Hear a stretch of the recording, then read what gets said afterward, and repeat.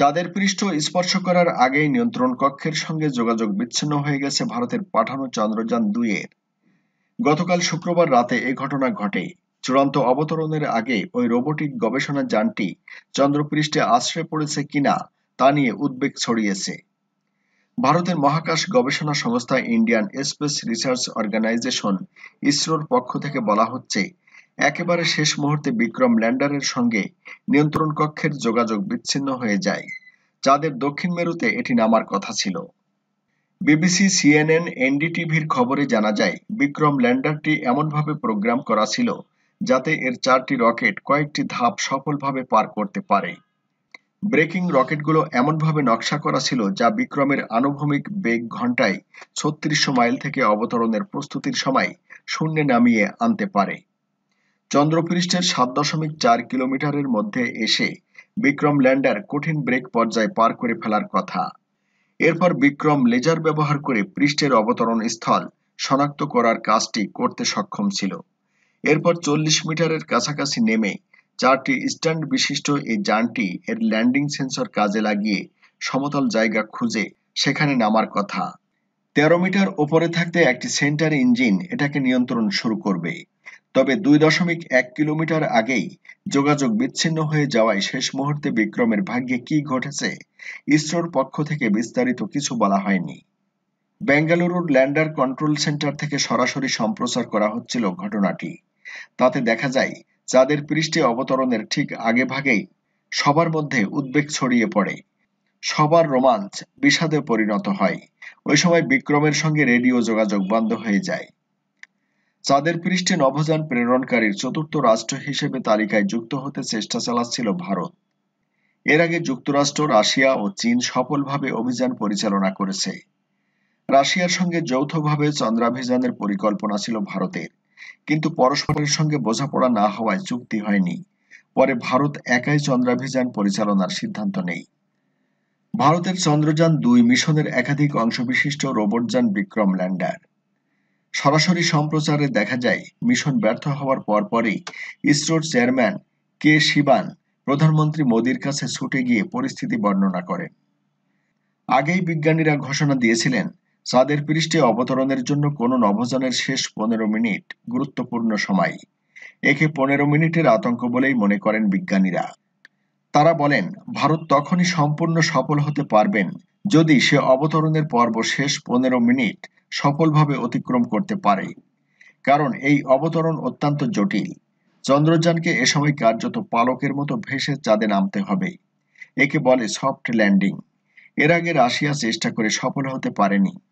চন্দ্রযান দুইয়ের এই soft landing এর জন্য আগে থেকে প্রস্তুতি নিতে নানা পরীক্ষা নিরীক্ষা করে নিশ্চিত হয় ইসরো। এজন্য তামিলনাড়ুর নামাঙ্কলের মাটি দিয়ে চন্দ্রপৃষ্ঠের মতো কৃত্রিম চন্দ্রপৃষ্ঠ তৈরি করা হয়। চাঁদের মাটিতে খনিজ সম্পদের খোঁজ করতে গত বাইশ জুলাই রওনা হয়েছিল চন্দ্রযান। গত বিশ আগস্ট চাঁদের কক্ষপথে প্রবেশ করেছিল চন্দ্রযান দুই। ভারতের দ্বিতীয় চন্দ্রাভিযানে এখন পর্যন্ত সেটি ছিল সবচেয়ে কঠিন ধাপ। এরপর গতকাল রাতে চন্দ্রপৃষ্ঠে নামার প্রক্রিয়া শুরু হয়। ইসরো চেয়ারম্যান শিবান বলেন, সবকিছুই পরিকল্পনা মাফিক ছিল। এক দশমিক তিন মাইল পর্যন্ত স্বাভাবিক পারফরম্যান্স পাওয়া গেছে। এখন তথ্য বিশ্লেষণ করে দেখা হচ্ছে। গবেষকেরা বলছেন, মহাকাশ যুগ শুরু হওয়ার পর থেকে চাঁদে অবতরণের অর্ধেকের কম অভিযান সফল হয়েছে। এর আগে ইসরোর চেয়ারম্যান বলেছিলেন, চাঁদের পৃষ্ঠে সফল অবতরণের বিষয়ে আমরা আত্মবিশ্বাসী। আমরা ব্যর্থতা থেকে শিখছি, যথেষ্ট উদ্দীপনা রয়েছে, যথাযথ পরীক্ষা করা হয়েছে। এদিকে আজ শনিবার সকালে জাতির উদ্দেশ্যে ভাষণ দেওয়ার জন্য ইসরোয় হাজির হন মোদী সহ দেশটির কয়েকজন রাজনীতিবিদ। মোদী ইসরোর প্রধান বিজ্ঞানী শিবন সহ অন্যদের সান্ত্বনা দিয়ে তাদের সাহসী অভিযানের প্রশংসা করেন। চাঁদের মাটি ছোঁয়ার আগে ল্যান্ডার বিক্রমের সঙ্গে যোগাযোগ বিচ্ছিন্ন হওয়ার পরই হতাশা ছড়িয়ে পড়ে ইসরোয়। পাশে বসে প্রধানমন্ত্রী নরেন্দ্র মোদী সব বিজ্ঞানীকে সান্ত্বনা দিয়ে বলেন, আমি পাশে আছি, হতাশ হবেন না। এ ব্যর্থতায় আমরা পিছিয়ে পড়িনি, ভেঙে পড়ার কিছু নেই। বিশ্বাস রাখুন নিজেদের ওপর, এগিয়ে যান। দেশ আপনাদের জন্য গর্বিত। শিগগিরই আমাদের সুসময় আসবে। মনোবল ভেঙে যাওয়া বিজ্ঞানীদের উদ্দেশ্যে মোদি বলেন, চাঁদে যাওয়ার জন্য আমাদের মনোবল আরও দৃঢ় হলো। তিনি বলেন, আমরা আবার ঘুরে দাঁড়াবো। আরও ভালো কিছু করে দেখাবো। আর এ কারণেই আমাদের সভ্যতা এত উঁচুতে পৌঁছেছে। ভারতের মহাকাশ বিজ্ঞানীদের উদ্দেশ্যে মোদী বলেন, এই যাত্রা ও প্রচেষ্টা অনেক গুরুত্বপূর্ণ। আমি গর্ব করে বলতে পারি, প্রচেষ্টা ভালো ছিল বলেই চাঁদে যাত্রা সম্ভব হয়েছে। আমাদের কর্মীরা অনেক পরিশ্রম করেছেন, অনেক পথ পাড়ি দিয়েছেন, যা আমাদের জন্য শিক্ষণীয় হয়ে থাকবে। এ শিক্ষা থেকে আজ থেকে আমরা আরও দৃঢ় ও উন্নত হব। ভাষণ শেষে বিজ্ঞানীদের সঙ্গে হাত মিলিয়ে বেরিয়ে যাওয়ার সময়ে সৃষ্টি হয় আবেগঘন এক মুহূর্তের আবেগে ইসরোর প্রধান কে শিবনকে নিজের বুকে টেনে নেন মোদী। শিবন এ সময় কেঁদে ফেলেন। পিঠ চাপড়ে সান্ত্বনা দিতে থাকেন মোদী। এ সময় চোখের কোণ চিকচিক করে ওঠে মোদিরও। একেবারে শেষ মুহূর্তে চন্দ্রযান দুইয়ের সঙ্গে যোগাযোগ বিচ্ছিন্ন হয়ে গেছে ইসরোর। বিক্রমের সঙ্গে যোগাযোগ স্থাপন করতে পারেননি মহাকাশ বিজ্ঞানীরা। চূড়ান্ত অবতরণের আগে ওই রোবোটিক গবেষণা যান চন্দ্রপৃষ্ঠে আশ্রয় পড়েছে কিনা তা নিয়ে উদ্বেগ ছড়িয়েছে। ইসরোর পক্ষ থেকে বলা হচ্ছে, একবারে শেষ মুহূর্তে বিক্রম ল্যান্ডারের সঙ্গে নিয়ন্ত্রণ কক্ষের যোগাযোগ বিচ্ছিন্ন হয়ে যায়। চাঁদের দক্ষিণ মেরুতে এটি নামার কথা ছিল। এর আগে যুক্তরাষ্ট্র, চীন ও রাশিয়া চন্দ্র জয় করেছে, তবে তা চাঁদের অন্য অঞ্চলে। ভারতের নভোযান চাঁদে অবতরণ করলে তারা চন্দ্র জয়ে চতুর্থ দেশ হিসেবে তালিকায় উঠে আসত।